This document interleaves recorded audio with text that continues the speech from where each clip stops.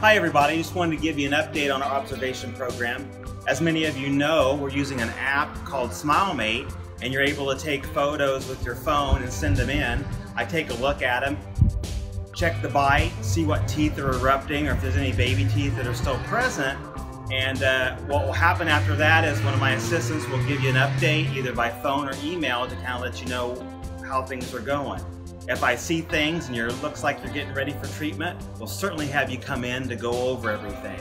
We also have the opportunity for you to come in in person if you feel more comfortable with that. But um, this is kind of saving everyone some time, and we hope that you appreciate uh, how that's working for you. Um, thank you very much, and uh, let us know if you have any questions about it.